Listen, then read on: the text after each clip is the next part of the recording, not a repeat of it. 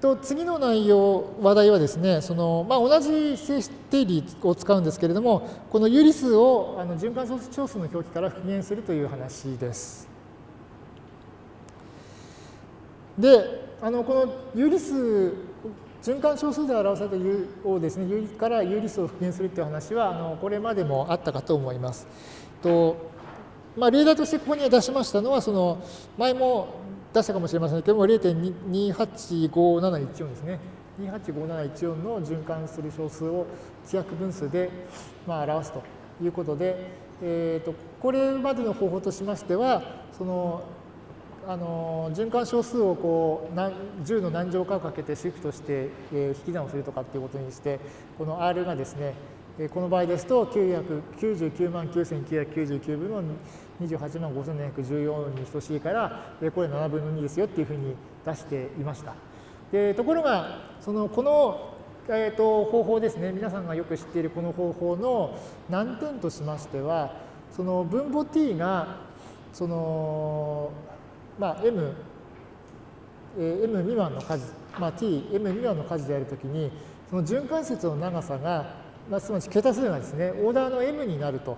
いうんですね。ですので、その例えばその分母が、えーと、10, 10ぐらいだったらばそのその時に使う循循環節の長さ桁数が大体10桁ぐらいになると。っていう形でその分母 t 分母の大きさに応じてその循環節の長さがどんどん長くなるっていうので、まあ、一般に計算は大変大変になるだろうなということが想像つくと思います。でそこでですね先ほどのその有理数の再構成のあの方法を使ったあのアルゴリズムをここでは紹介したいと思います。えー、と今あの Z 有理数 Z として t 分の s という数が、まあ、あのをがあるとしましょう。でここでその s は0以上でそれから s よりも t が大きくそれ s と t はともにラージ m というあの整数で抑えられているものとします。で、まあ、あの一応この s 分の t というのはその、まあ、我々計算する人たちは分かってないわけですね。一応あのあるんですけどあの事前に知られてはいないと。で、え知っている情報はですねうんとこの、えーと、と z の小数表記ですね。えー、とここではその10の形状が、えー、と 2m の2乗を大きくなるようなそのっていう大きいという条件を満たす k に対してその z の小数表記が、えー、と b イコール 0.z1、z2、z3 から zk まで小数大 k まで分かっているものとします。ですので、まあ、z のあの有理数としての表現はまだは知られ教えられてないんですけれども、それをその小数で表記したときに、その小数大 k までは与えられているものとします。で、この時に、じゃあこの z の規約分数の表現を計算しましょうっていうのが次のアルゴリズムです。えー、とアルゴリズム、一応ラショナルリコンストラクションというふうに書きましたけれども、えー、と入力としましては、まず、えー、とこの z イコール t 分の s の、えー、と循環小数表記ですね。えー、とこれを、まあ、b というふうに与えられましたが、まあ、この循環小数の表記が与えられているものとします。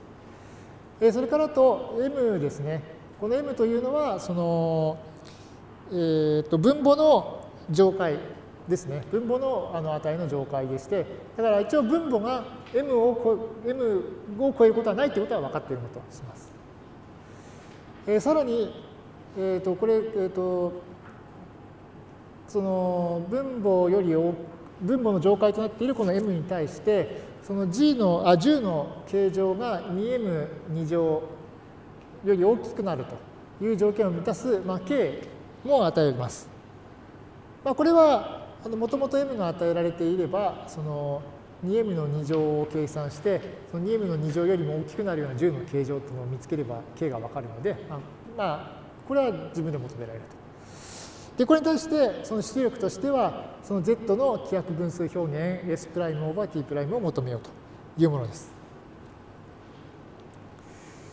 で、まあ、その手順を、えー、がこちらのスライドですね。えーと、順を追って説明していきたいと思います。えー、とまず最初に、えー、と10の形状という値を n に代入しまして、それから、えー、と b に、えー、b を n 倍して、えー、その整数部分を取った数を b' とします。b はあ一応今ここで考えている有理数は1より小さいとしていて、その b はその、えー、と小数点小数表記でしたので、まあ、それを n 倍すると。そうすると、うんとまあ、何桁分か整数が出てきますから、まあ、その整数部分だけを切り取って b' という変数に代入しておきます。で、次の2番目のステップで、この1番目のステップで与えましたこの n と b' からですね、え、ー、と、拡張ユークリッド誤助法によって、この ri、si、ti というのをこう計算していきます。そして、えこの rj が、えー、と m え最初に与えた m よりも小さくなるような最初の j というのを求めます。で、この時に、まあ、rj、sj、tj っていう組が取ってこられると思うんですけれども、えここでですね、この時に取ってきたその sj を s' プライムと置いて、で、ま、tj に対してマイナス tj を t' に置くと。でそうすると、この t' プライム分の s' プライムっていうのは実はあのこの求める有理数になっていると。いうのがこのアルゴリズムなんですね。で、えー、そのあの根拠となるあの定理は、一応テキストでは、とあの定理4.83というところに書かれておりまして、一応このアルゴリズムの出力 S、t' プライム分の S' プライムは与えられた小数表記が B が表す有理数 Z の規約分数表記であるということが示されます。あの今回は証明を集約しますけれども、一応あのこういうあの定理がありますので、その関心のある人はちょっとぜひ見ていただければと思います。まずここまでよろしいでしょうか。えそれではじゃあ実際にですね、先ほどの7分の2のですね、循環小数表記をこのアルゴリズムで復元するとどうなるかっていうのをちょっと例題として見せたいと思います。えーと一応まあこれこのスライドは先ほども見せましたようにその従来の方法はこのようにしてやってましたとこですね。で、えー、とこの今度はアルゴリズム今回のアルゴリズムを使った方法ですと,、えーとまあ、R はあのこの0.285714の循環小数ででこれをまあ t 分の s として、えー、表したいということなんですけれどもまずアルゴリズムの入力としては、うんと b として、えー、と0.285714を取ってきます。で、それからあと、え、ー、と、一応ここではですね、m として、あの、7というこの分母の上階が与えられているものとします。でそうすると、え、ー、と、2m2 乗っていうのが、え、ー、と、2×49 で98になりますから、98がですね、よりも10の形状が大きくなるような k の最小値っていうと、まあ、98を超えるえー、10のべき乗の数というのはまず100ですね。100は98より大きいですから、100はその10の2乗なので、えー、k の最小値は2ですから、よって、まあ、k を2と置いておきます。で、えー、と一応ここでは n を10の2乗イコール100と置きまして、それから b' は、えー、とこの循環素数表記を100倍して、え